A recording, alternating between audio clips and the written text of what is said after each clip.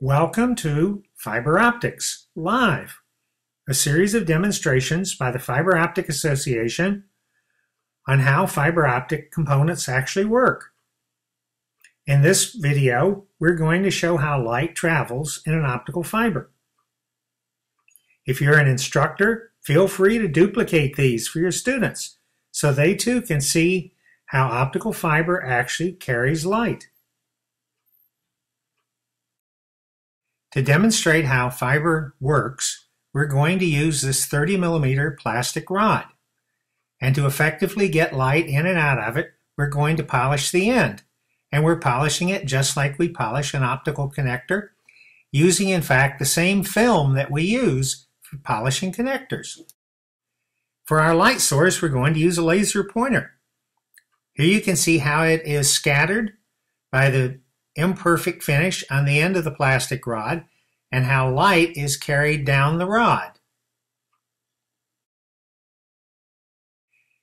If we shine a laser pointer in the other end of the plastic rod, it will light up the end of the rod from scattering off the imperfect finish and exits to show the light pattern out of the, rod on our background.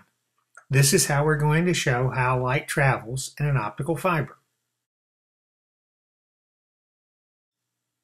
Optical fiber works by total internal reflection. The light rays traveling down the core are reflected back by the interface between the higher index of refraction of the core and the lower index of refraction of the cladding. So we can demonstrate this with our plastic rod.